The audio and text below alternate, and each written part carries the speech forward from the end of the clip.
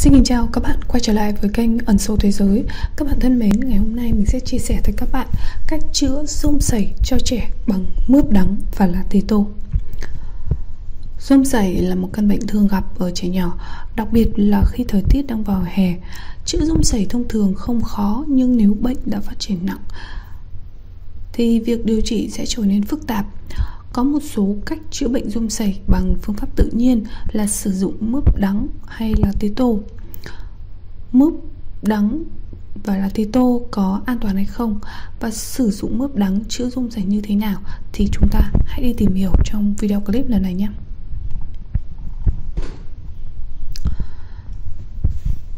Mướp đắng thì có tính hàn, vị đắng, không độc, có lợi cho sức khỏe, đặc biệt là trong mướp đắng có tinh chất có lợi cho làn da.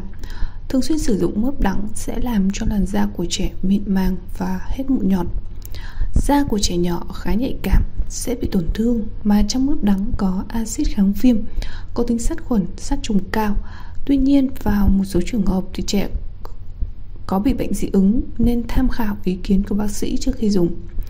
Theo kinh nghiệm thì khi tắm mướp đắng cho trẻ có thể dùng quả mướp đắng lớn hoặc dùng quả và xây mướp đắng rừng. Nhưng mướp đắng rừng sẽ hiệu quả hơn nên chọn những quả tươi, non và có màu xanh đậm. Các bạn hãy chuẩn bị từ 1 tới 2 quả mướp đắng, vài lá kinh giới, máy xay sinh tố, một chậu tắm, nước và khăn tắm. Các bạn ngâm mướp đắng vào trong nước muối từ 15 tới 20 phút để trôi hết đi những cái chất bẩn. Sau đó vớt ra, thái nhỏ, xay nhuyễn bằng máy sinh tố. Lọc lấy nước cốt mướp đắng vừa xay được và để riêng ra một cái bát. Nếu chỉ có máy xay, máy ép hoa quả thì có thể cho mướp đắng vào xay cũng được. Chú ý vệ sinh sạch sẽ các dụng cụ trước khi thực hiện. Tắm cho trẻ thì các bạn lấy khoảng 5 lít nước ấm, cho thêm vài hạt muối và khuấy đều. Sau đó là cho nước cốt mướp đắng đã lọc ở trên và tiếp tục khuấy đều. Trước khi pha thì chú ý rửa thật sạch chậu tắm bằng xà phòng để diệt vi khuẩn. Các mẹ nhẹ nhàng đặt trẻ vào trong nước tắm, sau đó là dùng khăn tắm lần lượt làm ướt toàn thân của trẻ. Với những vùng da bị rung sẩy nên thoa nhiều lớp và nhẹ nhàng để loại bỏ vi khuẩn, tránh gây chảy xước da của con. Nếu như trẻ dưới 7 tháng tuổi, nên có hai người tắm vì lúc này trẻ chưa biết ngồi. Trong khi tắm bằng mướp đắng thì nên tắm lại một lượt bằng nước ấm để làm sạch da cho trẻ. Trong lúc tắm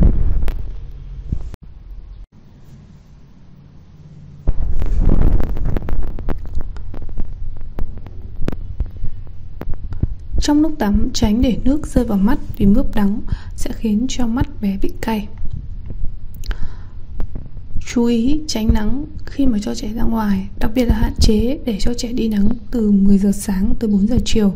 Không nên ủ trẻ quá kỹ hoặc mặc quá nhiều quần áo cho trẻ.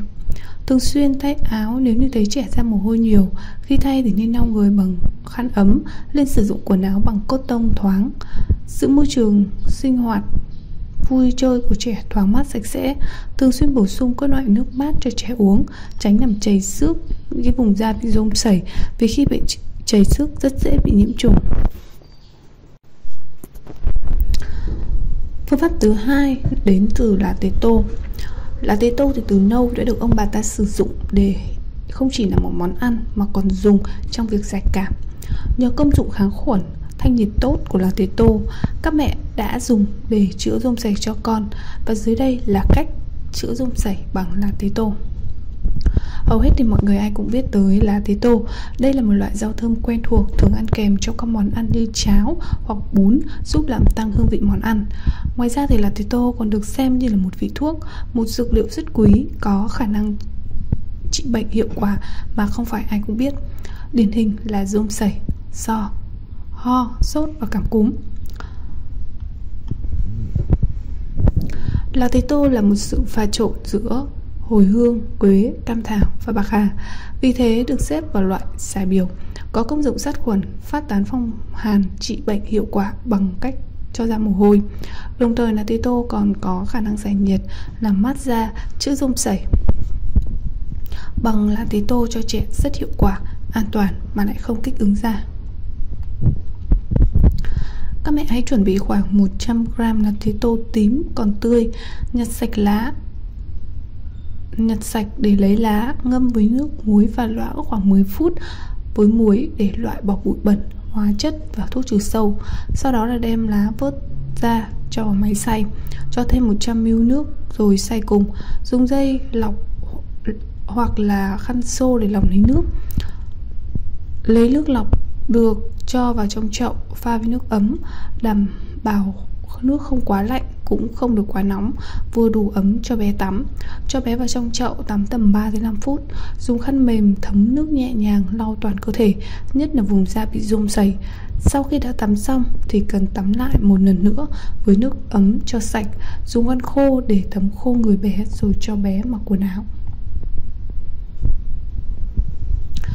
Mẹ hãy lấy lá tía tô đem rửa sạch với nước muối loãng Sau đó thì mẹ cho vào cối giã nát để lấy nước cốt Dùng nước cốt chấm lên những cái vùng da, khu vực bị rôm sảy của bé Mẹ thực hiện mỗi ngày vài lần Và sau khi đã chấm nước cốt là tía tô lên da thì mẹ để nguyên như vậy tầm 10 đến 15 phút cho bề mặt da khô rồi cho bé tắm lại với nước ấm.